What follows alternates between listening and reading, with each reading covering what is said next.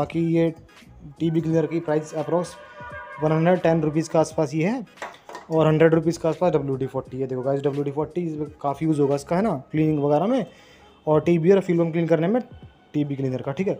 बाकी air filter बिल्कुल genuine है ओरिजिनल बजाज का देख लो, उसकी कॉस्टिंग वगैरह देख लेते हैं एक बार ना। थोड़ा मैं दिखा देता हूँ आपको कॉस्टिंग क्या है, बिल्कुल ऑथेंटिक है। हंड्रेड परसेंट ओरिजिनल है टू सिक्सटी टू रुपीज़ का एयर फ़िल्टर है, ठीक है? बाकी इसकी एक बार बिल्ड दिखा देता हूँ आपको ओरिजिनल की कैसे बिल्ड रहती है। पैकिंग वगैरह काफ़ी ऑथेंटिक रहती है as compared to local one तो उसमें थोड़ा पता चल जाएगा आपको अलग ही सिर्फ़ उसकी पैकेजिंग से ना। बाकी दिखा देता हूँ मैं एक बार आपको ना, किस तरीके की इसकी पैकेजिंग है।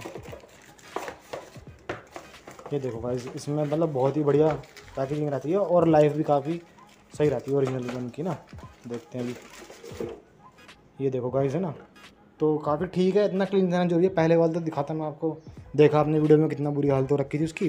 एनी वेज गाइज़ ये डब्ल्यू डी फोर्टी देख सकते हैं आप। इस तरीके की इसकी बिल्ड होती है। मतलब काफ़ी सही W D forty anti rust का काम भी करता है और लिब्रिकेशन का भी।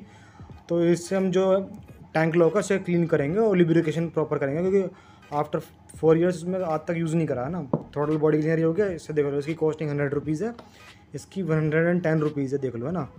Sixty three point eight gram है इसकी क्वांटिटी है ना। बाकी इसको दिखाता हूँ मैं एक सेकंड आपको टी वी क्लीनर का दिखाता हूँ सेकंड इसकी प्राइस वगैरह कितनी क्वांटिटी है ना। तो देख लो 150 फिफ्टी के आसपास की क्वांटिटी है। यहाँ लिखा है, देखो ये चीज़। 150 फिफ्टी इसकी क्वांटिटी हो गई है ना? बाकी एयर फ़िल्टर मैंने दिखाया था, आपको एयर फ़िल्टर हो गया ऑथेंटिक बिल्कुल.